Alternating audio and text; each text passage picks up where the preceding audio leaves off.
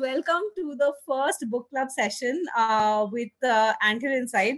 Uh, at Anthill Inside, uh, I think a year ago we would like you know having very serious discussions about machine learning and AI and ethics, and suddenly you know uh, this year with everything turned around, we said, well, why can't we talk about science fiction because that's actually what Anthill Inside is about, and so. Um, I'm really glad that we've really started off uh, with uh, with Gautam's book, uh, The Wall. Um, I think Gautam's very special for me personally because we started this year of our uh, project on privacy and engineering by hosting Gautam in January, and then of course the pandemic took over, and now Gautam's back again with, uh, you know, with a sort of doing a second cameo over here. So we're only going to see one side of Gautam today, which is a science fiction writer, and he claims that that is his original self. I'm not going to reveal more because there's a better person than me who's going to shepherd the session here today, and that's Vijaya. Um, I really want to thank Vijaya for taking charge. Uh, Vijaya is usually very um, humble about herself, but I'm sure you're going to see more of Vijaya and the other panelists in the next few months as they shepherd this uh, book club and uh, and you know have more exciting discussions and sessions for you. So Vijay, I'm going to let you introduce yourself. Please don't be very humble and uh, take over the proceedings from here. And hope all of us have fun. Uh, those of you who are watching on YouTube, you can post your questions in the comment section. We will take them here, and then uh, Vijaya can queue them up uh, as we go along the way. Uh, over to you, Vijay. Thank you, Zainab. Thank you so much. Uh, welcome everyone to the inaugural session of the Anthill Inside uh, Science Fiction Book Club, a reading and discussion of The Wall by Gautam Bhatia. Uh, first to introduce myself, I'm Vijay Lakshmi. I've uh, uh, published a tiny little book called uh, Strangely Familiar Tales, and I write for Women's Web on issues at the intersection of pop culture and feminism. And mostly I'm just a very voracious reader. Um, a few things that I'd like to uh, everyone to keep in mind today before we begin is first to keep your mics on mute so that we can hear the panelists uh, clearly. And uh, secondly, uh, that, uh, you know, just keep typing your questions into the chat box as we progress, because we will be having a Q&A session later. So, uh, you know, at that point of time, I'll ask you to unmute yourself and you can ask your questions. Um, let me start by introducing our panelists uh, today, uh, Krishna Udayasankar, uh, T.G. Shenoy, and of course, uh, Gautam Bhatia. Um, Krishna Udayasankar is the author of the Aryavarta Chronicle series, 3, Immortal, Beast, and the poetry collection, Action. She co-edited Body Boundaries, the etiquette anthology of women's writing. Her work has also been published in many print and online anthologies, such as Magical Women, 24 Flavors, and Lontar Number 6. She was one of the nominees for the Tata Book First Book Award 2012 and the 2016 Writer in Residence at Fort Canning National Park, Singapore. All her books to date have been optioned for movies or web series. Krishna holds a PhD in strategic management as well as an undergraduate degree in law. Apart from writing fiction, she is also the author of two textbooks, International Business, An Asian Perspective, and Global Business Today. In addition to her writing, she also currently leads Uncommon Ground, Rohini Nilekani Philanthropies CAMP Arbitration and Mediation Practice Initiative. All her books to date have been She is also the mother of three bookish canine children, Buzo, Zana, and Maya, who ghostwrite her books. T.G. Shenoy is an SFF enthusiast and a columnist and critic. He's the writer of India's longest running weekly SF column, New Worlds Weekly for Factor Daily, and the SpecFix column for Bangalore Mirror. He also curates the SF track for Bangalore Lit Fest.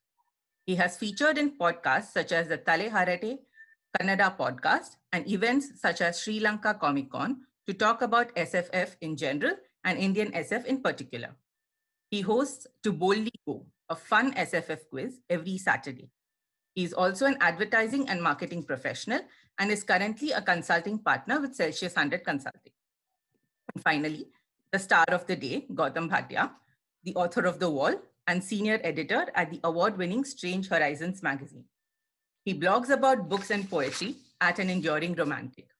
His work is also included in the upcoming second volume of the Gollancz Anthology of South Asian Science Fiction and Fantasy. His other not so secret identity is that of a lawyer an expert in constitutional law who has worked on important contemporary constitutional cases. Uh, his writing on constitutional law has appeared on platforms such as Scroll, Outlook India, etc. He has also authored two books, Offend, Shock or Disturb, Free Speech Under the Indian Constitution, and The Transformative Constitution, a Radical Biography in Nine Acts. He would like you to know that the wall has nothing whatsoever to do with lawyering. Welcome, all of you. And um, Gautam, would you like to say anything before we begin? Oh, no, just I, uh, I guess just uh, I'm really grateful for the fact that the first book that the Anthill Science Fiction Book Club is discussing um, is The Wall. So I'm I'm, I'm extremely extremely honored and grateful.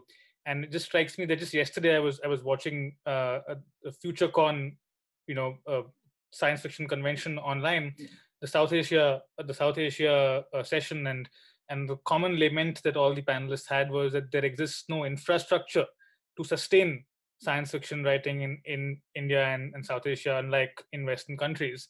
And I think that magazines, cons, and book clubs um, are exactly the kind of infrastructure that will allow science fiction to happen and for the reading public to kind of come into being and, and find itself. So that's the, I think this is a wonderful um, beginning, and, and I hope that the Anthill Inside Science Fiction Book Club has a long life uh, going forward, and that hopefully this will be a propitious beginning to beginning to that long life. Thank you so much. Um, Krishna, Shenoy, anything that you guys have to add before we begin?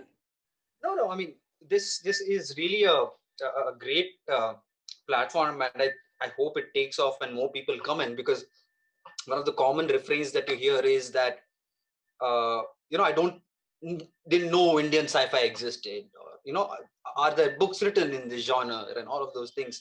So, uh, given the fact that they are getting published and the publishers are not doing their bit, it then falls upon us as uh, fans and readers, you know, or uh, enthusiasts of the genre to do a bit and, uh, you know, and uh, something like the Anthill uh, SF book club will go a long way. So in that sense, I would like to thank Anthill Hasgeek and Zainab for setting this up. But what better way to begin with uh, this? All right. Um, so just to get started, I'd like to start with you, Shenoy, uh, because you're such an encyclopedia on uh, all things uh, SFF. Um, now, India has always had a very rich tradition of SFF writing and storytelling. So it's not exactly new to us. But in recent times, there has been a lot of interest from domestic readers as well as international readers in uh, Indian SFF. Uh, so given that there is this surge, uh, would you say that this is a great time for the wall to be coming out?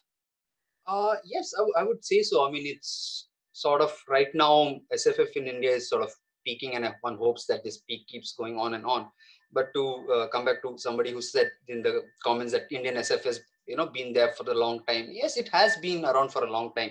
I mean, even if you accept the one school of thought that even uh, you know uh, any sort of fantastic literature falls under this. Ambit we've had you know years of uh, of that genre. But even in the modern era for example there are lots of uh, stories in which uh, indian F- sff has had landmarks. I mean starting from uh, jc bose's you know the runaway cyclone which is the first story anywhere in the world to feature the literary use of the butterfly effect or uh, even if you take uh, the 1905 story by Begum Rokeya, you know, Sultana's Dream, yeah. which was probably among the first pieces of feminist SF uh, anywhere in the world. Uh, I mean, if you go by the, the, the, Western histories, they'll tell you that it's 1915, you know, 15 with Charlotte Gilman Herland, but Rokeya's, uh, you know, uh, Ladyland came 10 years before that. So we've had a long history of that. And so when I hear that you know there's there's no sf in india or there's no sci-fi being written in india. It's mostly a case of i don't know about these books. That, that fundamentally that's uh, where it comes from. But i have seen it changing over the past uh, three or four years. And you know uh, lots i mean uh, once upon a time there would be like one stray book coming out every year right? Uh, you know for example back when Samit Basu uh, wrote Simoqin Prophecies, which is the first uh, Indian fantasy novel in English.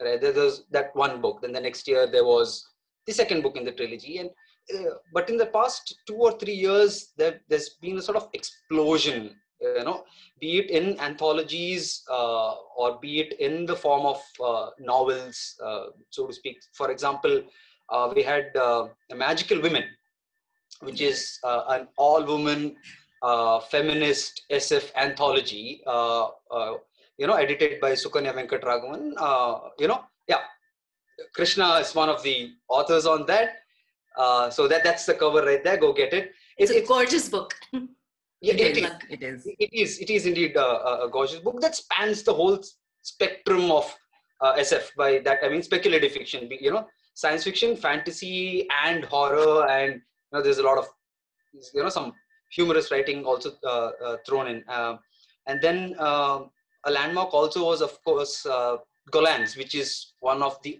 oldest SF publishers in the world, uh, deciding to have South Asia uh, focused anthology. And that was, you know, I still remember the book when it came out, it that big yellow label and said, Gollancz comes to India. So, you know, as much as we would like to think that, uh, hey, there are no readers or there are no SF fans, if somebody like a Gollancz is taking this uh, region seriously, it means that the, the profile is uh, uh, rising.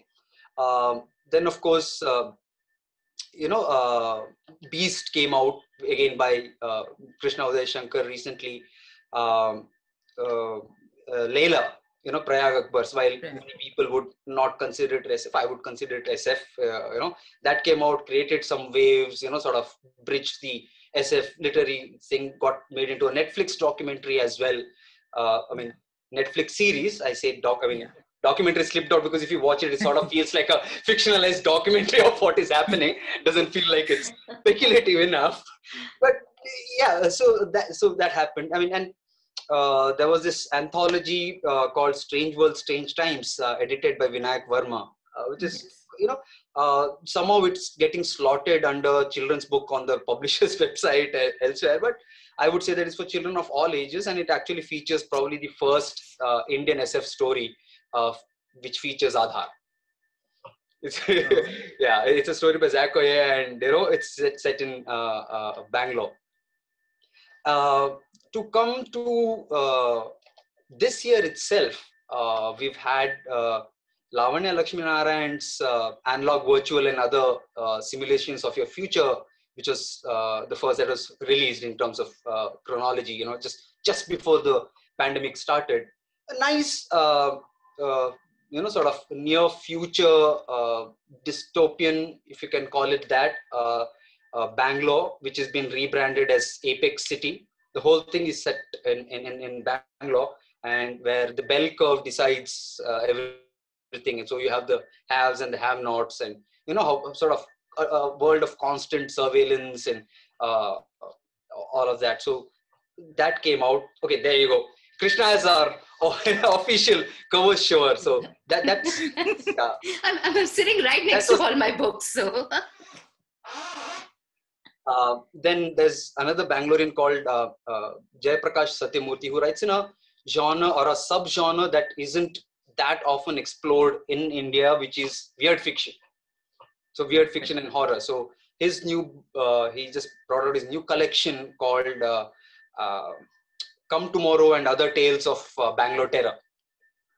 So, and old time Bangaloreans will recognize what, what Come Tomorrow refers to. It refers to the Naleba Bhuta, you know, which had a lot of people in fear in the, uh, you know, uh, 90s, you know, this is a long time back. So, it, eh, the title story is about the Come Tomorrow ghost and, you know, the whole Bangalore mythos, as he calls it. It is a nice mix of uh, uh, weird fiction and uh, horror. And uh, his other book also came out this year, which is called Strength of Water, which is a small no, novelette, or a, I mean, it's slightly bigger than a short story, smaller than a novel. I don't know, call it novelette or novellum. I don't know, whatever, whatever the category for that is. Uh, so yeah, so uh, then just recently there was a bilingual anthology which was released called Avatar it is, uh, you know, uh, the first Italian uh, English anthology of Indian SF, which was published.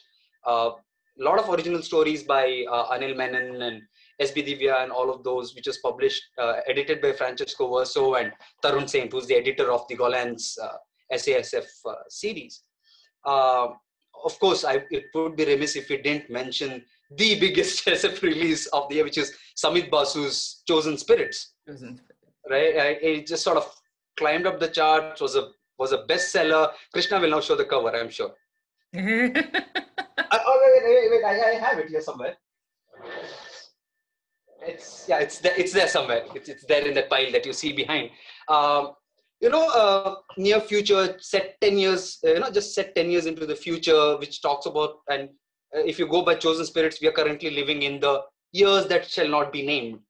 So you know, it yeah. sort of feels strangely familiar, but not. Uh, but it's not dystopian. I mean, Samit Basu calls it anti-dystopian in the sense that, yeah. however bad it gets in the book, that's perhaps the best best case scenario as he sees it.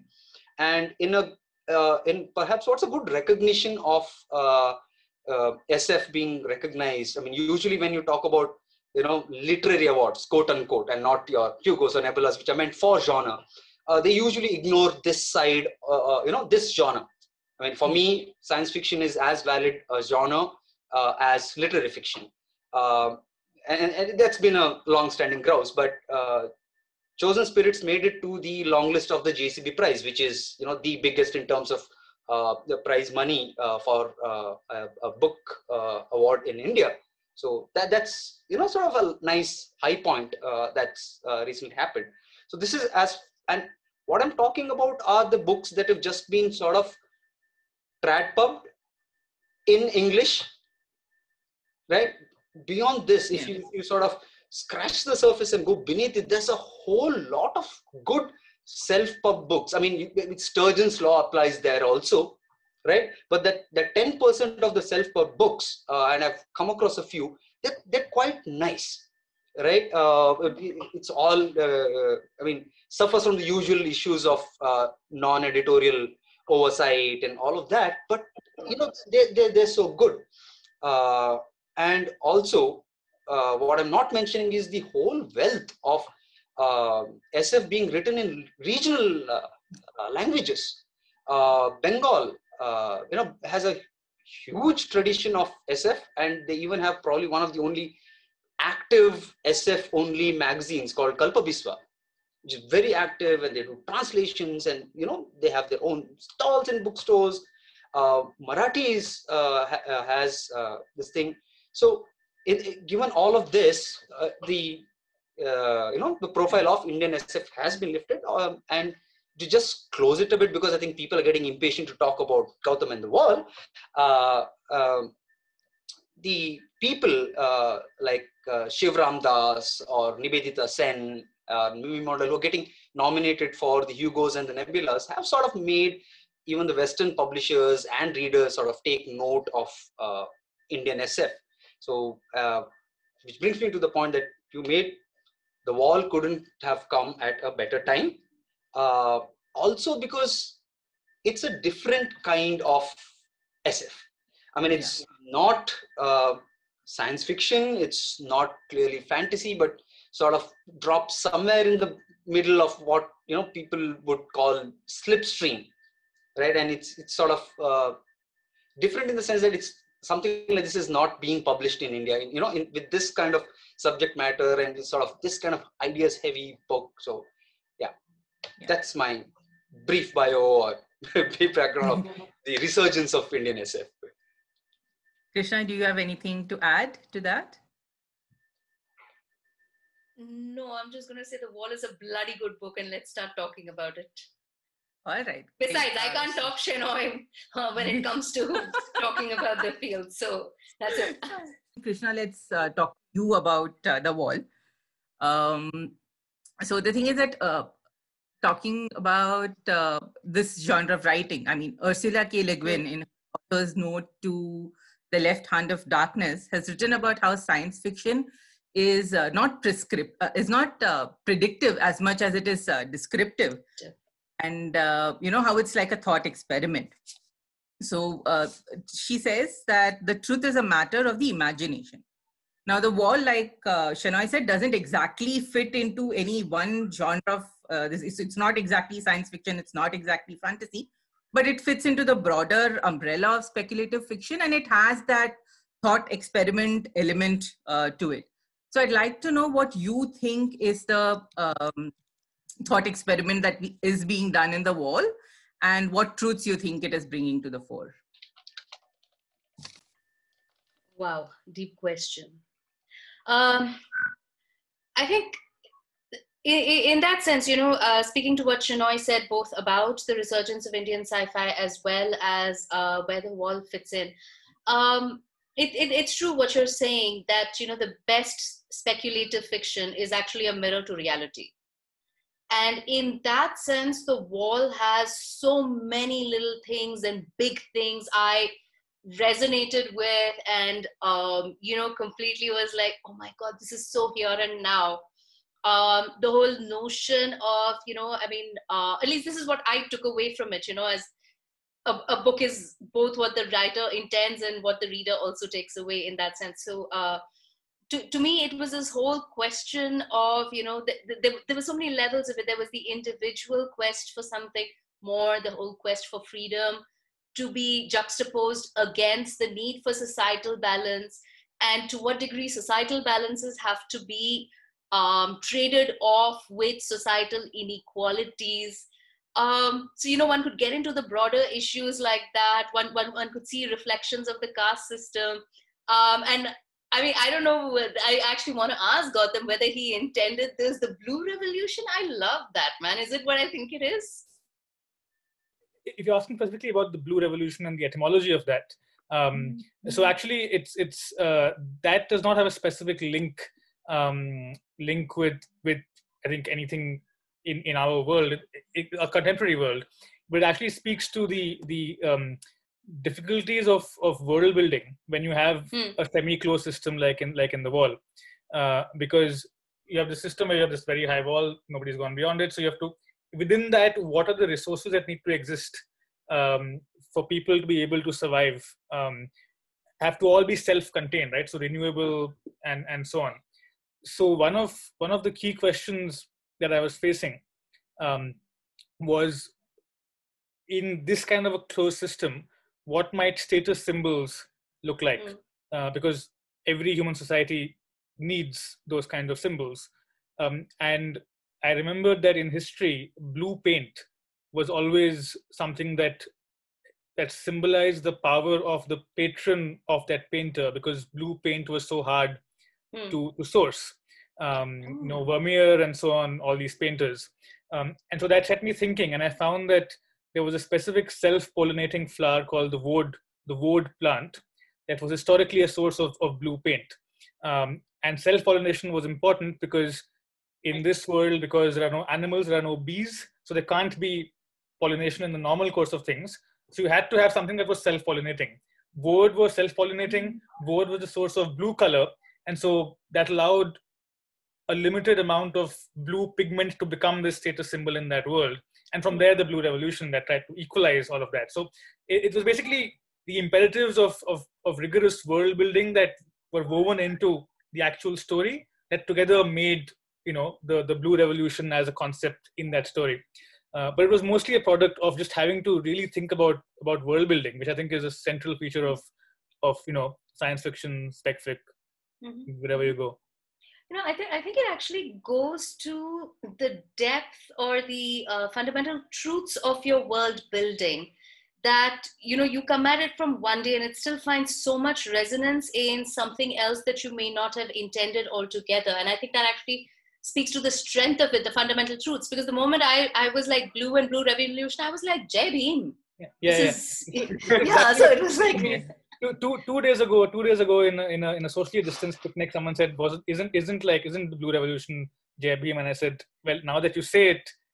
I mean, I'm not going to deny it, but no, my, my thought process was something far more mundane and, and rooted in like the necessity of, of putting a coherent world together. So yeah. No, but yeah, like I said, I think that just speaks to the fundamental strengths of the world that you've created. Yeah. That it resonates with so many other things as well. Yeah, unintentional, but but I'm glad that, that it's happened. I mean, the the author may be speaking to us, but the author is dead too. Yeah. it's a good Yeah. classic example of that happening here. yeah, it's like let, let's forget Gautam wrote the book. Now we're just going to discuss the book. no, we're not. Hmm. yeah yeah exactly yeah Yeah, I mean, I, I thought so too, that there are so many things, uh, Krishna, like you say, that resonate into what is already happening in our world. And like if you, like if Gautam hadn't told us, even I would have thought that, you know, the Blue Revolution is uh, related to uh, the, uh, you know, caste struggles and things like And that does show up a lot, actually. I, I Mm. thought the concept of that social law and, uh, you know, the, Mm. uh, that that was amazing. Like i was like this this is just really radical and it's awesome. But yeah okay moving on. Um, now that gautam is back um, gautam my question to you. Now there has been a lot of focus in uh, recent years about uh, you know the issues of representation and inclusion in um, uh, you know popular culture especially in books as well. And there is a lot of push especially for own voices uh, narratives now, given that context, uh, did you have any doubts at all about uh, writing a, a main character who was a queer woman? yeah that's that's a very very good question and i you know, divide that i think into into two parts. Um, the first is the choice is the choice uh, you know uh, to do that and the second is the the actual writing of it. I think that that uh, the issues that kind of arise are different um, in both. The first is the actual actual choice um, to uh, for the protagonist to be a queer woman um, i think that uh, rick riordan basically he put this really well and and um, he what he said was that look the world's a diverse place, right? Um, so far, what's happened is that the writing has acted as if it's not, uh, right? And and and this is why uh, the protagonists of you know classic canon, science fiction canon, all these years, subject to of course, there's always there's always been a pushback. But mean, what what is now what has come down to is the dominant canon, right? Has actually pretended as if the world was much narrower than it is, uh, which is why you have you know cisgendered predominantly white men with with white names always playing the protagonist roles you know entrenching of gender binary all of that right um, and and and what rick Riordan says is that's a much poorer view of the world um, because th- that is actually what what should be taken as as being you know um, uncharacteristic because that is not what the actual world looks like. Um, and if you actually examine what, what the real world looks like um, then a, a narrative um, that is closer to the fullness of its diversity is actually being truer to the real world um, uh, than, than the canon, which which acts as if the, you know half of or so much of it doesn't even exist. So I think that in, in that sense, um, it's just a question. It's not even trying to be consciously representative or, or trying to achieve a, represent, a goal of representation but just to acknowledge that, that this is how diverse the world is and your novel should reflect that diversity so that's on on the issue of of the choice of of um, you know uh, um, of making the not making the part of it was driven by the narrative concerns but the protagonist being a queer woman. Um, the second issue and i think here is where a lot of concerns come up is the writing of it right? Because the fact is that the way our world has shaped up there are axes of privilege. Um, those axes of privilege have shaped experiences um, in very specific ways. And so, even though we may want to, to live in a world in which gender is not salient, that's not the world we live in. Um, and therefore, it, it follows that as a cisgender heterosexual man, there are experiences along those axes that I don't have access to. Um, and and therefore, and, and, and the kind of solution partial unsatisfactory but it is what it is devised and, and i don't know if this goes beyond science fiction but it, it's it's it's it's very big in science fiction is the idea of sensitivity reading uh, which is that when you have you know when you have narratives that involve characters whose lives are shaped on axes of privilege that you do not share then you ensure that what you're writing is read um, by individuals who do share those the axes.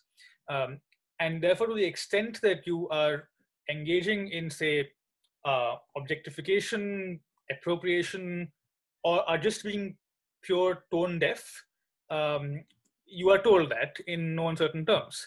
And then you are guided about what is going wrong. Um, so that's what that's that's what uh, that's the process the wall went through um, in in trying to ensure that that in the writing of those characters, um, th- th- there was to the extent it is possible to do so uh, to avoid um, it coming across or being appropriative, um, you know, or or just plain inaccurate or wrong. To the extent that it has succeeded or failed, of course, is something that that that readers um, will, will tell me. Uh, but but that's that yeah that is the two part answer to to this question. Okay, okay. I I actually would like to comment on the success of it.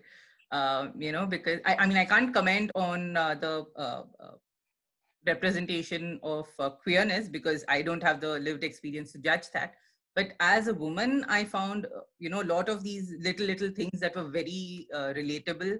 Uh, and, uh, you know, there's one particular incident that uh, really quite struck me from the book where, and I'll keep this vague to not make it a spoiler, which is that there is one woman who's going off on an adventure and then another woman hands her a packet uh, you know, consisting of uh, food, water, and most importantly, sanitary napkins. And she says that, you know, you need to have this with you because you don't know where you're going and what's going to happen. And so, uh, you know, and that struck me because there's such a conspiracy of silence uh, in our culture about talking about menstruation. So that when I saw it, I myself did a double take like, you know, am I reading what I'm reading? And then it was a very nice moment. And it's also the kind of thing that, uh, you know, women do for each other on such a regular basis. It's nice moments of uh, sisterhood, and it was very uh, relatable. So I, I really.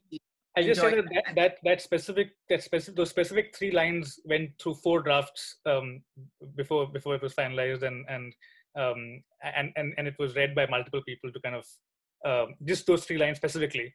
So uh, wow. uh, yeah, that that's a, uh, I, I, was I was terrified about getting getting that wrong, and and and, and even now I, I still am. So so, um, but, like you said, like uh, it, the benefit here is of having people who will tell you very bluntly you're getting it wrong. Um, there was one scene that I in in the comments, uh, some one of my readers, you know, said that this scene reads like a straight man is writing it. Uh, so it, it, really makes you feel like very small when you read that comment, but then you can go back to the drawing board and redo it. So and, and in the end, it's better for it. So so yeah. I think this is a great great thing that science fiction is kind of like you know this idea of sensitivity reads and making sure that that um, it's blunt and, and clear the feedback to you. Absolutely. Absolutely. And um, yeah i mean i think those sensitivity reads worked here quite a bit. So I, I, will tell i will tell i will tell them i can't speak for all women but definitely worked for me. Yeah. No but it's also credit to the larger story. I mean how that that whole relationship to me i mean you know was sort of weaved in and you know was part of uh, you know uh, Sumer's uh, system and you know Sumer's uh, you know it, didn't feel out of place. So credit to you there, uh, Gautam. Yeah, again, I mean, this is I, am glad you, you brought this up because um, this was a, a, big debate I had with with with with the person who you know really had a, a big role in, in the shape of, of this novel. Uh, and, and my point was that look the gender roles and so on are, are, are products of specific material conditions. Um, and so one thing that the book is trying to explore is that if the if those material conditions are not present, so in this case, there's no question of like tra- people traveling long distances, you know, or or like physical strength being like you know just a determining factor in your in what you can you know do and a host of other such conditions, then you, these kinds of, of roles would never arise. And so gender would not be salient in that sense, that it, it won't exist in the same way. Um, and and um, and this person said that is correct. At the same time, you you can't presume that that um, that that the, the, you're still writing in the world, um, even though the world you're writing, you know, is a different one. So therefore, you have to have kind of treat this fine balance of of of okay yes given the state of, of the world you're creating gender will occupy a different kind of a space but you at the same time can't be ignorant of the salience it has in your world.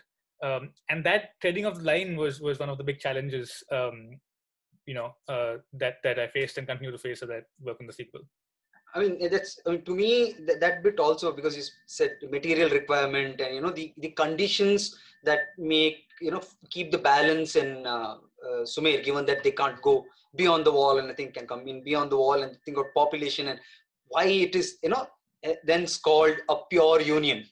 Yeah. Right. That, that to me was a great thought experiment in terms of world building to you know what, okay how much of this is material requirement what happens you know when these uh, material uh, restrictions don't arise so you know it, it's a it's a it's, it is a good thought experiment so in that sense you know part 2 couldn't come sooner I agree. Seriously, seriously. Like the moment I closed the book, I was like, I need the sequel now. Like right now, I need to know. In, in, in any uh, uh, any idea Gautam, any predictions on when that's going to be out? Oh yeah, no, no. It, it, it's so I'm, I'm I, the draft is done. I'm in, I'm in edits right now. Uh, uh wow. It, will uh, it, it'll take about two and a half, three months more to, to finish, finish, and, and hand it over to the editor, and it'll be out middle of next year, like like this one. So, so lovely, lovely. Normal, normal sequence where one one year and then the year after. So so, but it, it, the, the draft is done. Uh, I know how the story ends, and and I'm in the presence, I'm process of editing it right now. So yeah. No, what does one have to do for sneak peek at draft? Just to figure out the story, how it goes. I mean, I mean how, I, are you are you corruptible, easily corruptible? We can, we can, we can, we can discuss that offline. Yeah. yeah, but at, at, at, this point, I think we should also tell all the people who are participating that so don't. It may be a nice thing. We're impatient, but don't wait for the book second book to come out to pick up this one. Yeah, yeah, yeah. Yeah, yeah. yeah, yeah. You'll anyway want to read this book multiple times. So by the time you know you finish doing that and you've like digested it and got all the uh, innuendos and all the lovely detailing in it, yeah, then yes. it'll be just right time for you to get to book two. So no, no, no. Start now if you want to be out, and, you, you know, you. fully yes, there in time absolutely. for book two. Absolutely, because there's so much to think about. Yeah, and, and given the fact that it's so ideas heavy, and you know the way it uses the sort of Socratic method to arrive at you know so many things. You know, it's like in a, a bit like a Christopher Nolan film. You know, it only makes sense the second time you watch. there, are, there, are, there are many Easter eggs scattered all over the all over the book and uh, exactly. So, so yes. you know, on your second run, once you sort of done and digested and formed your own opinions, and then you go back to sort of cross check. Okay, tick tick no tick no tick no tick like, like like they say you know uh, you know no man can cross a river twice. River twice yeah, you yeah, go yeah. back the, the person has changed and the river is different. It's it's a it's, it's a bit like that. Yeah yeah yeah. yeah yeah so it is it is quite a deep book. Uh, actually i think now is a great time to get to the readings. So, uh, and okay, usually it is the author who reads from their own work, but um, I've learned from experience and from a trick from my friends that it's very nice for the author to listen to their work being read out. So, what we're going to do is that Krishna and uh, Shenoy are going to pick up uh, some excerpts from the wall and read that uh, out. And also tell us why they picked that particular expert. Like, why did that uh, excerpt why that uh, resonated with them so much. Uh, Krishna, can you begin with you? Yeah. So I'm, I'm, I'm going to be reading from, well, not about middle, one third of the book. And um, let me read this first and then I'll talk about it. Because I, I, actually I had a tough time choosing. I, I had three narrowed down and then I decided this has to be the one. So uh, the, the chapter is called A Voice in the Dark 2. And what of the dreamers themselves? What about their lives, their own stories, their loves, and their longings? What brought them to the fireside and bound them there? Smara, of course, in part. But Smara can't be the entire explanation. There was something else. And I think I know what it was for each of them. But it wouldn't be appropriate to dwell on, dwell on Garuda and Dhara, would it? The one inspired, the other brooded, but history seems to have blotted them from its pages. Mithila, then, the younger sister, the one who remained behind with Garuda gone, the one who always longed to be like Garuda, but could never quite manage it, the one who never stopped blaming herself for what happened. You know, I remember playing a game with Mithila once we were imitating a style of conversation we found in the pages of the philosopher Temur, to get at the truth. One of the conversationalists played the role of a questioner, and the other answered. The questions had to be asked as swiftly as possible, and the answers had to be instinctive, unplanned. To cut a long story short, I was the questioner, and because it was Mithila, naturally, the theme was the war. I put to her all the reasons that one could have for wanting to breach the wall. Was it for glory? No, she said. Did she dislike the people of Sumer? No. Did she want gain, resources, power and control? No, no, no.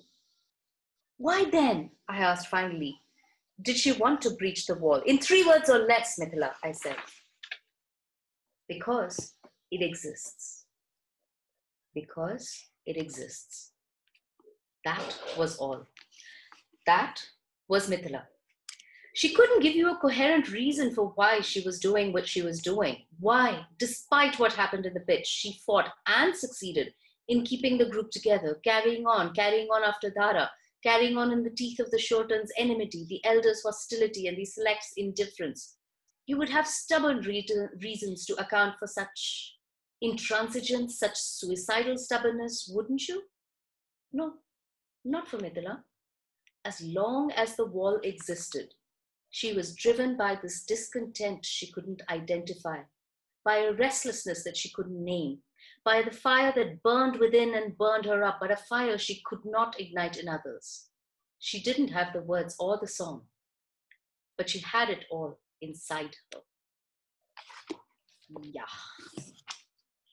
Um, and I chose this because, you know, it's it's this is one of those. Uh, most of the scenes had Mithila in them all the time. Um, and this was this one scene where it's almost like looking outside in at her and it's it's it's a sudden uh, different less level of resonance it gives with this character as well as why she's doing because I I, I went through that and and that's what, I, uh, what the one thing I really liked about this book was the character arcs. There are times when I've actually been pissed with her. They're like, what are you mm-hmm. doing, woman? You know, are you are, are you like mad? this is not done and her sister says that to her a lot in the book and i'm bad and like seriously are you mad are you stupid can't you see what's going on i mean i can figure that out and i'm just i'm just reading this book kind of thing but to me that speaks to how invested i was in her and in the other characters and in the story so this particular passage it was almost like um, it was almost making sense of Mithila to me. It was almost like, you know, someone was trying to get my head in place about this character where uh you know and then that's it after that it's like i'm completely i mean till then i was really really interested in her but by then i was like totally invested in her and um, I love that. It's it's actually uh, I stopped halfway. It actually goes on to describe two more characters uh, in the core team, so to say. And I think uh, those differences are also brought out uh, very beautifully, each of their nuances and how they come. But just keeping an eye on the time, I'm going to stop here and make it a short piece if that's okay. Now, I agree with you, Krishna. I mean, um, I loved uh, that particular passage. Actually, I loved all of those A Voice in the Dark. I kept looking yeah. forward to them because and you know they they kind like of turn the camera around and show uh-huh. us Mithila from somebody else's point of view, and they, that those are just amazing. Um, yeah, and, and, and Gautam has a smug smile on his face which says, "I know who that is, and you don't." and you can be grateful for social distancing so that you're not actually getting punched. or, or maybe that that says, you know, I have the reader exactly where I want them. no, Gautam, as a reader, can I just say I almost hate you? I mean, I love you, but I hate you, if you know what I mean. I mean, like, hate you for leaving me hanging this way. Yeah, I mean, no, I mean, I, I guess, I guess that's that's that's that's what I also loves to hear, actually. Um, and um, but no, I'm, I'm I think that it's really interesting you brought this up because um, one of the things that that I wanted to um, really ensure with, in in the story was that uh, Mithila's opponents should have arguments that are at least as good as hers. Hmm. Um, and so one should never really be quite sure whose side one is on in that sense. I mean, of course, there is a protagonist, and in that sense, like her story is, is the story. Uh, but I think that that um, that one thing that that um, I think the old canon did a little too easily was um, was give us answers about what is, is who is in the right and who is in the wrong. Um, I just felt that that it was important to to to say that that uh, actual life is is is, is much is much is much messier, um, and so she has her reasons to want to go beyond the wall, but there are reasons not to, and and it's not that her opponents are caricatures or villains or, or cartoons. You know, I mean, they have convictions, um, and so there are times when she would, if, if a reader feels that she's actually being being an idiot or like you know, then that's actually good. Like it, it, that's, that's a good response because um, part of it is that that that you know um, this is not a choice that is meant to be clear cut at any point. Yeah. And her opponents are not all bad people you know? It's not like you set Yeah. out hating them. You're actually I, I, I kind of like some of them and i kind of found them really classy and so even i'm like you know what? Maybe you just might be right. I mean why is this girl so insistent on doing this? So that that that conflict is something i think that's come across very clearly so yeah well done on that that's beautiful yeah I'm, I'm glad i'm glad of that if that if that worked yeah thanks you did most certainly Absolutely. Shenoy, uh, would you like to do your reading now? Uh, yeah, uh, a bit Sorry, of one second. Can I, just, can I say one second for that? I see the question, and I'm so glad because someone's finally spotted that. Uh, there is a conversation in the book that matches Tears in the Rain from Blade Runner. Is that an Easter egg? Yes, yes. And, and that's the first person who has, like, I think, said they spotted a Blade Runner reference, and that that was one of my uh, uh, things closest to my heart. So I'm so so I'm like I'm really happy that someone has spotted the Blade Runner reference. Yeah. Okay. Sorry, uh, i spotted tolkien reference did it There are many. There are many. There are many of the. i know it's like I mean, I, I, I guess you know after uh, part two is over, some you know we should just bring out the annotated wall. I know it's like full Yes. this thing. Yes. and also i think that I- i don't know if we've had uh, something like this in india before where you know fans are discussing easter eggs and fan theories and stuff like that i don't know if we've had a book like that before but i think this is awesome Yeah. because i, love it. I just love it And I mean, And- that just and- and- show the depth of the world building and the, the, the detailing in the, the sort of writing, especially when he spoke of the Blue Revolution and the boards and stuff like that. It's a sort of nice insight into how an author does world building. You know, it's like the half the things don't make it to the page, right but Yeah. Yeah. Yeah. And am I overreading or overseeing the uh, the possibility of an Asimov reference in there too? Um, there, there, there is uh, there, there are there are some of references. Uh, And which will, which In fact, the voice in the dark. Uh, no, so the, the voice in the dark is not an Asimov uh, reference. Okay. Um, because so, so I got the idea from the voice in the dark from uh, My Name Is Red, um, where ah, okay. like, Hmm. yeah, so so so where every chapter was like a different perspective and kind of was looking out onto the story. Uh, so one chapter would be I am your uncle. Second chapter would be like I am so and so. So so, so Hmm. that that um uh, uh so that the voice in the dark series was was basically inspired by My Name Is Red. Uh, okay. There are Asimov references, but but they will they will become clearer in book two. So I want to just hold off on that for now. So yeah. and there are Le Guin references also I think. Well well, well Le Guin is is is I mean, yeah. there's so many. We, we should tick them off all one by one. Maybe yeah Yeah, we'll have a competition. Who spotted maximum uh, Easter eggs and references? yeah. And the reader will get to get advance copy of part two. Yes, I think that's very so sorry, Shenoy, I was interrupted you. Sorry. No, no, no, no, sh- no issues, no issues. Right. Uh, so my reading. Now I, the, way- okay, there are just a bit of a preamble before that. Um so there are, there, are, there are two kinds of authors, right? Uh, one is the uh, Tolkien, this thing was, you know, when you know who went to death saying no lord of the rings is not an allegory or a metaphor for uh, uh, you know world war one. It's not an allegory. It's not a metaphor. It just is. Then there's the other kind of author like a cs lewis who's like if you do not get the fact that that big lion is jesus i will kill myself right? So Aslan is the metaphor for jesus uh, you know uh, allegory for that. So i don't know which uh, of these uh, uh, Gautam falls into, but to me, the wall sort of stood as a metaphor for sort of, you know, gradual losing of things. You know, the you know one by one you lose a few things, uh, you know, and you're only left with sort of memories, uh, you know, of them, and the sort of living with the loss becomes the new normal, right? I mean, if you take the wall as you know as the box that you've been put into, and it's shrinking further and further so in, in that sense the, the the concept of smara to me in the book i mean these people are living in their mandala hierarchies and you know uh, uh, as much as they would like to think that it's all hunky dory you know things are bubbling to the surface right people are wanting to go out and how the thing of uh, uh this smara the concept of smara uh, you know drives not just mithila but appeals to a lot of people. Uh, and the thing i mean to those who haven't read the book uh, this is for you. Uh, so uh, one is by this extract is an epigraph from before chapter one of part one and it's about this concept called smara. The passage of time drove us to accept the wall among the natural order of things after all we had no choice and yet there were moments as children we had dreams dreams in which we saw things we could not name or understand. We knew on, we only knew they existed, existed beyond the wall. As we grew, these dreams and the memories began to fade.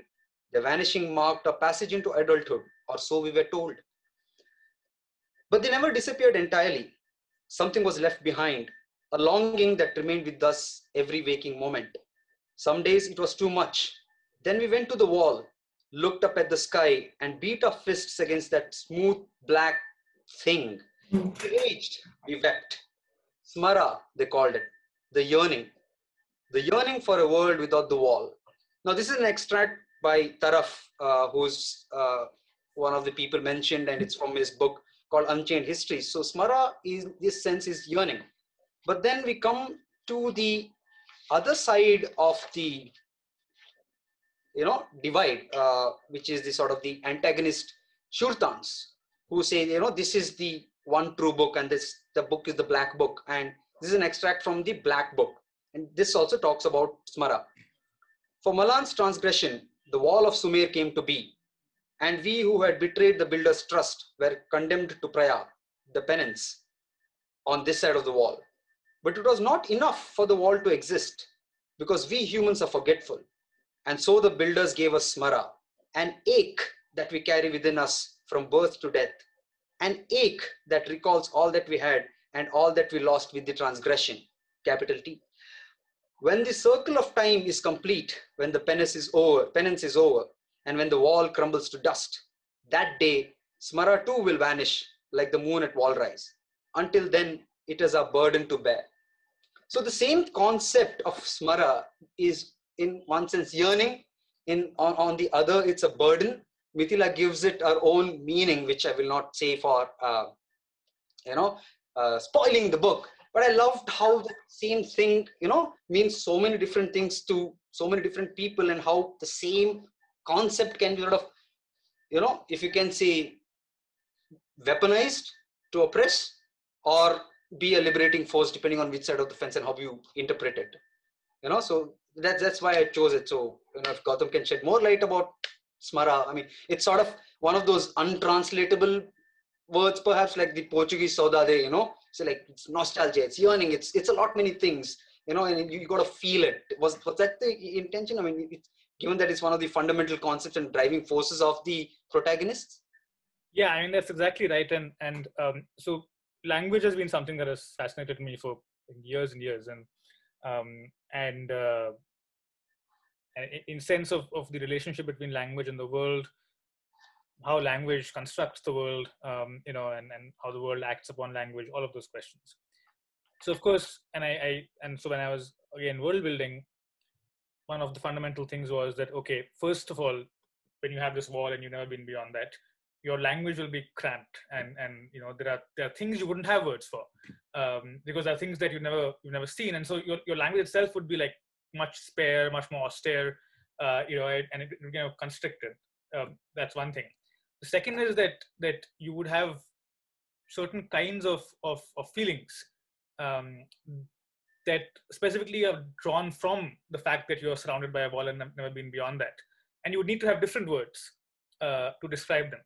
Uh, and so smara comes in as this, you know, in the beginning as this this feeling of longing that you have when you spend all your life surrounded by the wall. You know, um, there is a specific, unique feeling that gives you that nobody else would have if they weren't in that condition.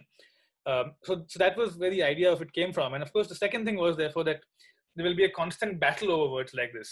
When you have these words that are the organizing principles of your existence, then there's a constant battle over what they mean and are they, you know, are they good, are they bad? Is is a good thing? Is the bad thing? Is something that you are meant to overcome, or something that you know you're meant to to live in because you're paying a penance for something. You know, in again in the book there are theories that people are paying a penance for the crimes of their ancestors, which is why they're they're within this wall. And smara is kind of a reminder of those crimes right so so so people who want to keep everyone within the wall would try to give a meaning to a smara that would justify or this that that that outcome because this is the feeling everybody has. The question is what do you do with that? And the language you use for it and the meaning you give to it would, would depend on what you do with that. And so there is so part of the one of the main themes of the book is a struggle over language uh, and the struggle to define what these these concepts mean uh, and thereby to to justify the wall continuing to exist or to justify attempts to go beyond it, which finally, you know, play out in the question of are you allowed to do this, are you not allowed to do this, and so on. So I think at, at, at the heart of it, and you're right, um, loss is, is a fundamental, you know, uh, running theme. That combined with this battle over language uh, and how it shapes our perceptions of the world was central to this conceptualizing of, of the idea of smara.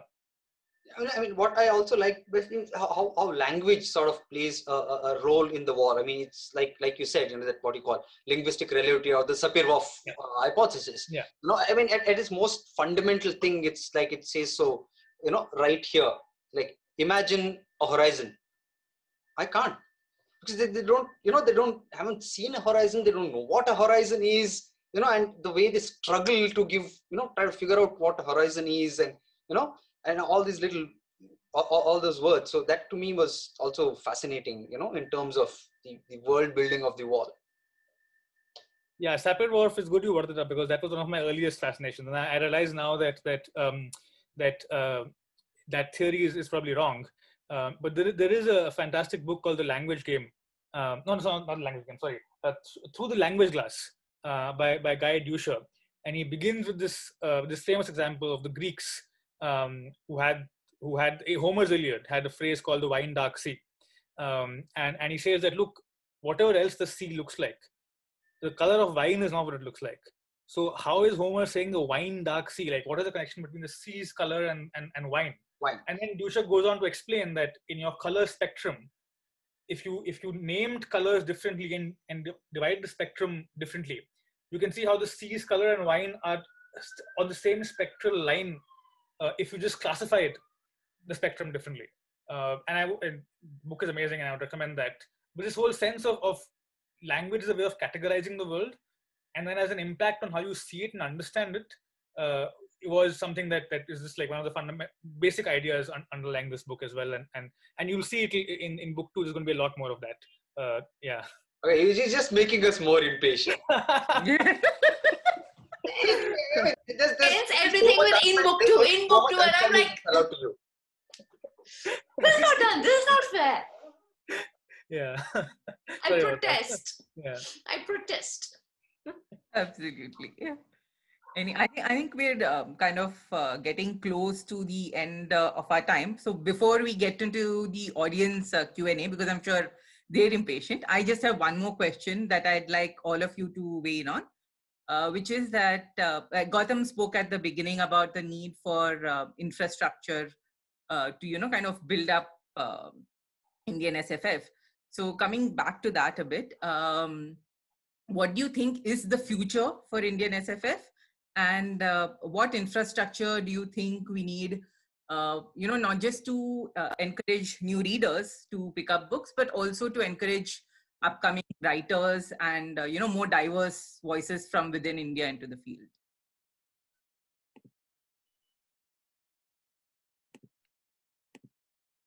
hello ah, I was not sure if I was being heard. Shall we do this in all alphabetical order of last name? Um, anyone who wants to start. I,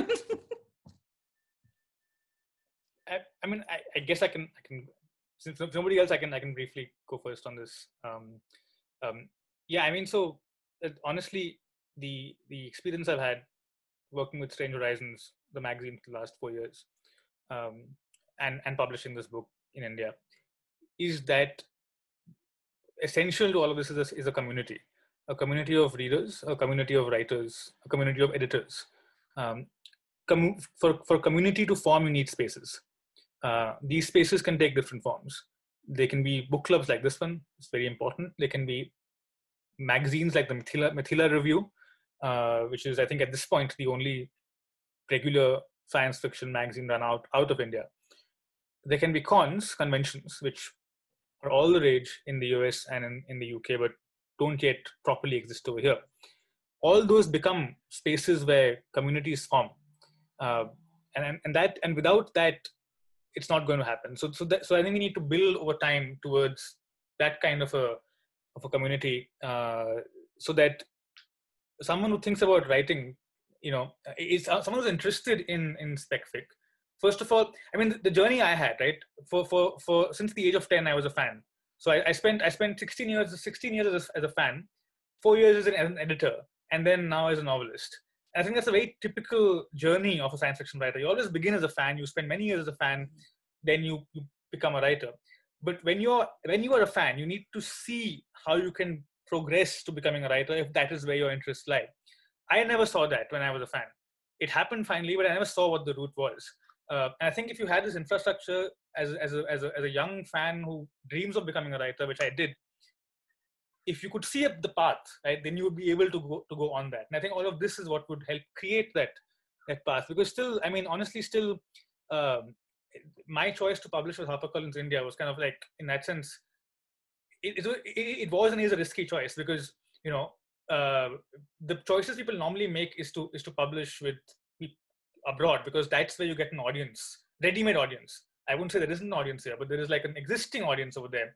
Um, and and and that's where you're expected to kind of make your name and then indians will read you because you've gotten validation from the west right? That's that's like that's still still the presumption. And, and i'm not saying it's wrong. I think there are good reasons why why people would do that and i wouldn't judge anyone for doing that. That is what you need to do if you want to uh, kind of establish yourself. But i think that that with all of this we could we could actually then write on our own terms publish on our own terms uh, and not have to look to that path of, of getting in from there and back um, uh, you know uh, to become science fiction writers i mean okay uh, yeah that's uh, yeah i'm going to speak about it from the non path towards writer perspective just as, as, as a reader um, what I completely agree with Gautam when he said that we don't need to wait for validation from the West. A lot of us identify as SF fans and SF readers, and almost everybody seems to take the same path in uh, right, uh, an Asimov uh, or a Clarke or something like that, great. I mean, whichever works for you. Some come in via, uh, you know, Le and all of those, um, and Tolkien and all of because primarily because when you walk into a, a, bookstore, this is what sort of still greets you, right? And of course, George R. R. Martin, most, most of them. But now that we have enough, it's also I feel upon us as uh, readers and as fans to speak about it you know to speak about the books that we love and to talk about it you know even if it means leaving a short review on a goodreads or an amazon or sharing it on a social media thing and talking about it uh, a lot. I mean the minute uh, you know you get ha- hold of a western novel like hey i got this. You know just support our indian writers and in turn you know like for example if if chosen spirits does really well if the wall does really well then we'll have more and more books of that right? It's a bit of a catch 22 situation right uh, the other thing also that we need is uh, a space in the official uh, literary events map so to speak uh, you know which is where i think uh, you know i will give due credit to the bangalore literature festival who probably became the first literature major literature festival uh, you know to say that hey listen we're going to have a dedicated sf track right? So i mean that was a chance that they were taking. So in the first year i mean krishna was a panelist uh, the first year that we had just like two uh, panels. And you know there was such you know the when there is an avenue people will come. And looking at the response the next year we had almost six to seven different panels including in the children's section with Vinayak Verma you know Yudhanjaya Wijeratne and all of these people came down from Sri Lanka. We had Ian McDonald coming down from Ireland. You know it's sort of uh, you know we, had Indrapramit we had Sukanya Venkat so you know the community just just sort of forms that way. But beyond that there's so much uh, thing of online and i have found from my uh, personal experience that when, there is an avenue people will sort of come come come together. Like for example just last week somebody was saying that hey with this tbg quiz i think i found my gang and stuff like that. And some of them may go on to become authors and writers and all this sort of thing but but at least we're starting to come together and we're starting to talk about it. So you know i, I it, it falls on us as readers as well Krishna? Uh, okay. Um, I, I, I, actually, you know, totally resonate with, and uh, uh, I should actually say, Gautam, thank you for doing that in terms of publishing in India, because I think that has been a very, very important thing to do. And it's, you know, it's a fact that many readers probably also don't realize that you, you know a, a, lot of writers who are known as indian sf writers abroad probably sell fewer copies than we think they do but they are better known because we always like things that are coming from overseas whether it's you know uh, I, I, think we still have that attitude especially because we relate indian writing to not very great writing. So there's still this whole duality of either it's going to be very lit and uh, you know uh, of a completely different category altogether or it's going to be very bad writing and in between you have well written but very interesting books in the sff realm and people just don't know where to categorize them. So i think and and that sort of ambiguity is something that is going to go away only if you know as shenoy also said not only do writers have to say we are going to publish in india first this is our main market.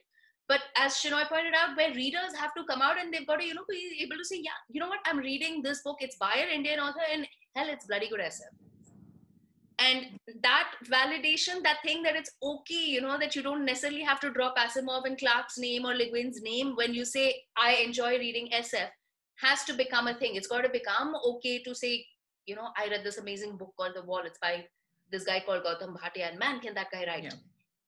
so you know that i think those conversations have to happen a lot more. And um you know strangely enough and uh uh, just just for my thoughts on what is actually going to give us this final fillip you're not it's going to sound strange but it's actually going to be corona.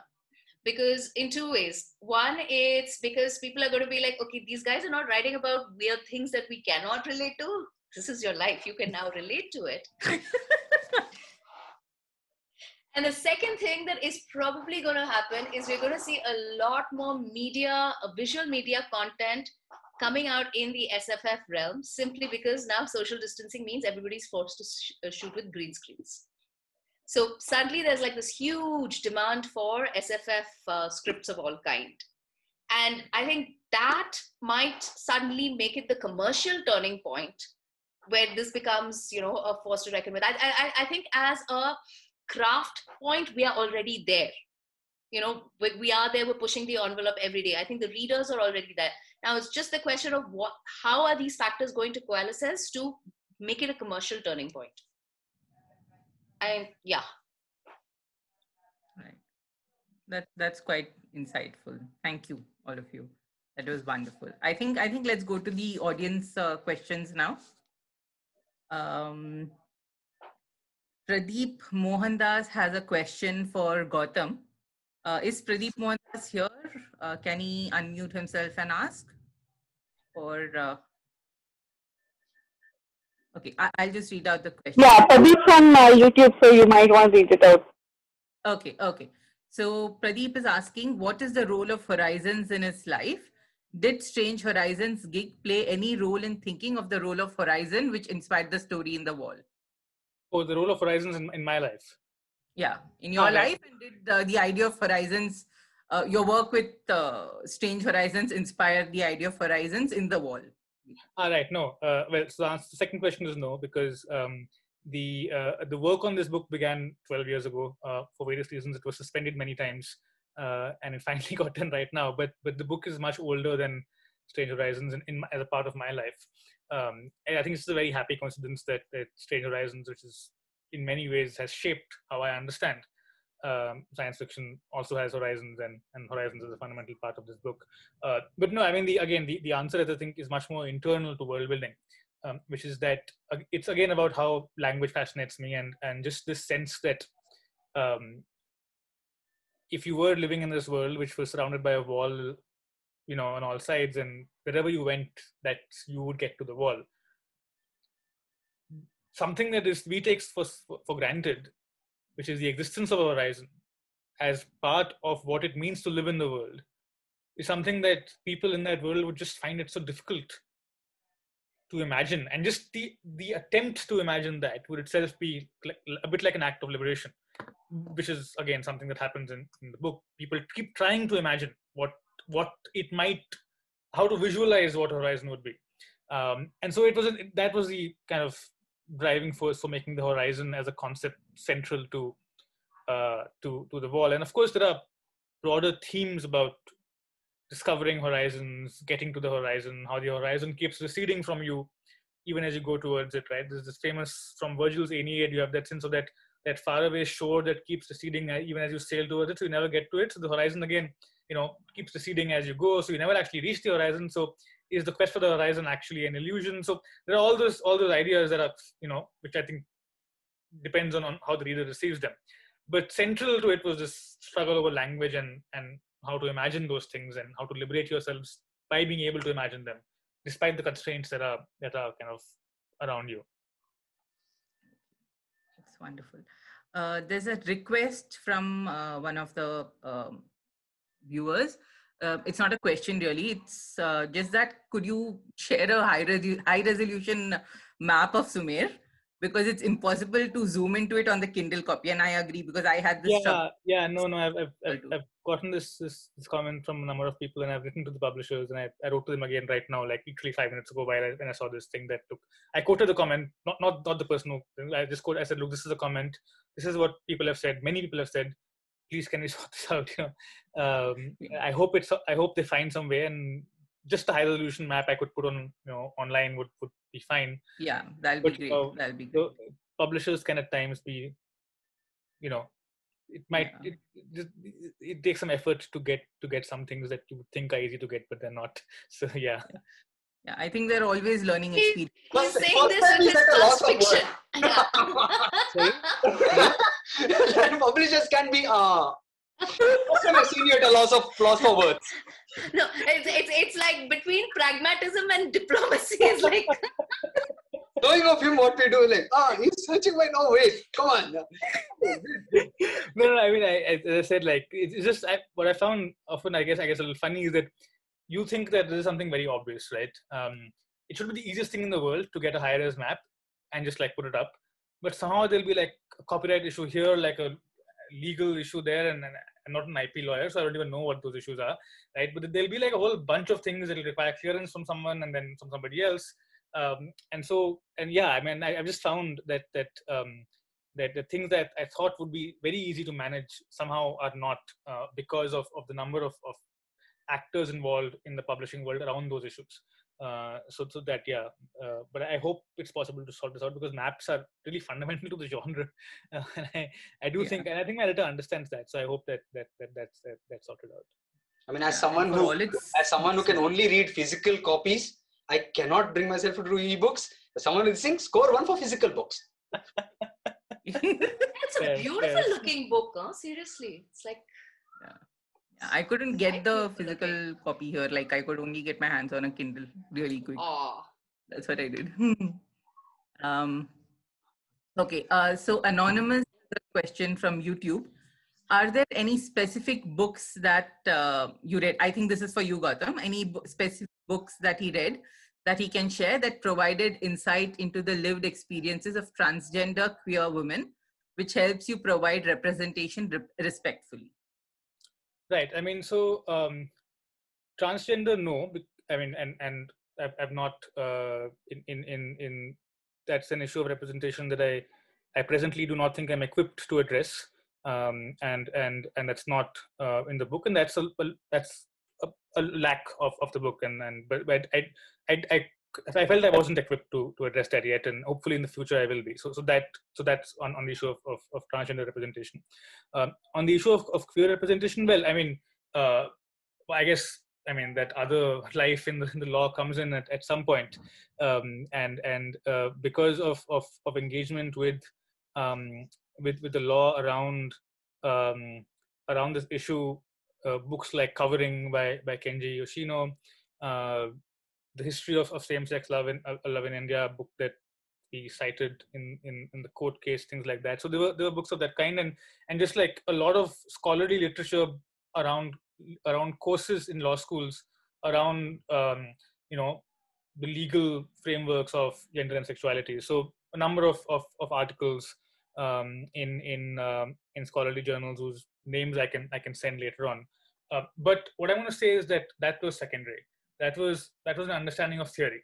Um, at best, you could have a competent understanding of, of queer theory through, through that uh, that is still not going to i think and, and just reading about it is not going to um, enable you i think to to do justice to uh, experience which is why for me the irreplaceable bit was sensit- sensitivity reads um, and and that gave me the kind of feedback uh, that i think no article uh, no book could have get, kept given me so so I, I, would i would count sensitivity sens- sensitivity reads um, and my my friends and my my colleagues who read um, specifically those portions and explained to me when they were accurate and when they weren't accurate representations of of their experiences um, in being able to do whatever I finally did. Uh, that was the most important part by far. Wonderful. Thank you. Uh, Pranavi has a question. Pranavi, do you want to um, you know, ask it yourself. A question with reference to uh, Mithila's name. Uh, I think I think Gautam's already answered that. Uh, okay. He said it's because, yeah. So uh, okay. another question that I actually wanted to ask was, uh, I I'm not sure if I remember this right, but there's been a curious lack of fauna in the wall, right? I think you mentioned that as well. Yeah. So, uh, yeah can you i found that very interesting and i didn't recognize it up until you mentioned it now so why do you think that is as in within the world uh, within the rules of the world why was it so yeah i mean so so that that that uh, is not a question I can answer right now. it, would, oh, it, would be, okay. it, would be a bit of a, it would be a bit of a. so, so I'm gonna, I'm gonna hold off on that right now. Yeah. Anybody? Uh, okay, no, I was waiting to see if he says book two again. I, I consciously avoided. avoided yeah, I was I was waiting for that. I was like, here it comes, here it comes. um, yeah, but but I mean, so what I can say is that um, that I think I think it is obvious. The city within the wall is a constructed system. It's not something that arises naturally. Um, and and I think what's, also kind of clear from from the novel is that human beings were provided exactly the right amount of resources in the right quantities yeah. to be able to mm-hmm. survive in a decent way you know not, not, not like live hand to mouth to be able to have a comfortable life inside the wall, given the physical constraints every time you add something to the ecosystem you will need to add three or four more things to sustain that addition right? So so it's basically that, that um, if you have a specific animal then that animal will need to feed on on on something you know will need to eat something. You need to have that specific crop or, or the other animal that exists and so on. So the more you add um, the more you will need to add to make it a functioning ecosystem. And so i think the the challenge in in not my world building but within the context of the novel the world that was built the world that was Sumer, um, was that in that physical space that is limited what are the least amount of things you can you can put in to ensure that human beings can live? Um, and and it, and to the extent it was possible to do to do that without without fauna it was done. Um, it, again because fauna would need to have space and so and space is like a huge constraint right? So so it's basically given this small space what is what are the minimum number of things you can put in to ensure that that life goes on uh, human life goes on and that was um, what was put in finally uh, why that was so well, as I said, that is something that, that uh, not now be answered. they're all vegetarians. It's he who shall I not be named, I tried, shall not be named. I tried wrangling some info about book two, but well. yeah, they're all, they're, all, they're all vegetarians. By, by, by default, they're all vegetarians. Yeah. Okay, Nemo has a question for Gautam, and this is from uh, YouTube. Uh, how did the book cover come about? And are you open to new designers for book two?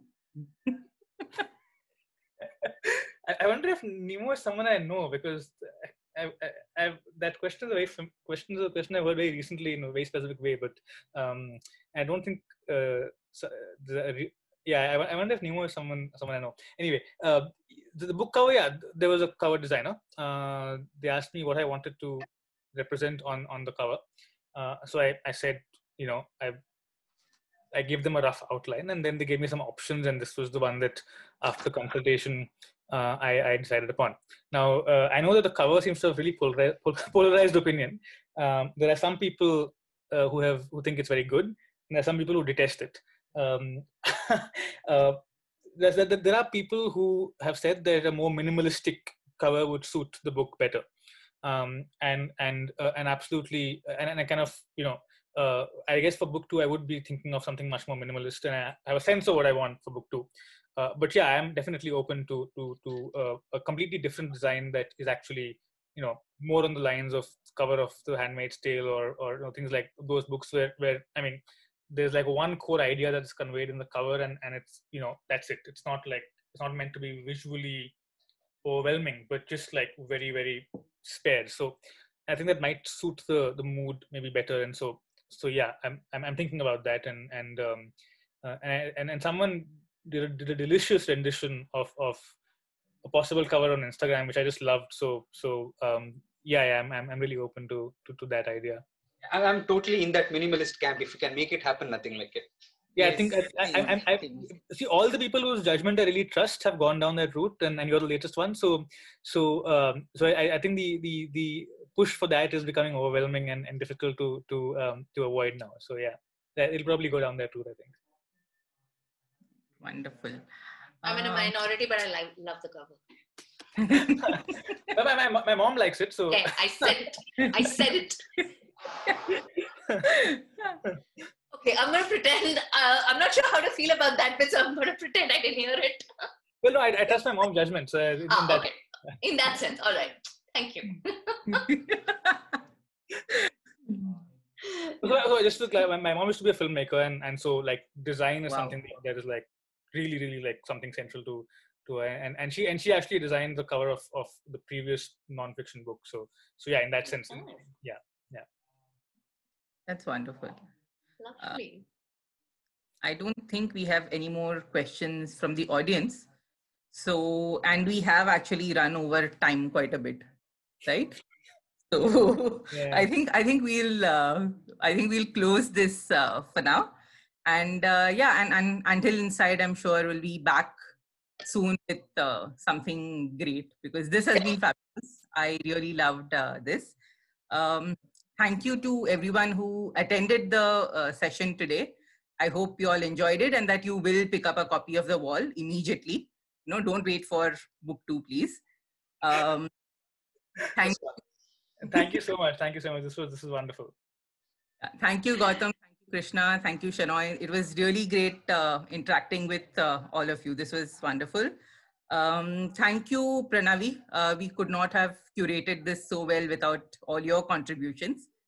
Um, thank you, Zainab and HasGeek for hosting us and getting us all together. Um, thank you also to Anand Philip, Pratiksha, and the Bangalore uh, Sci-Fi Club for your support. Um, have a wonderful weekend, everyone. And and thanks to you, Vijay Lakshmi, for such a wonderful job of holding this whole thing together. Thanks, thanks so much. Thank Could you. have done it without Thank you. you. So Shepherding the session and you know, yeah. Thank yeah. it's like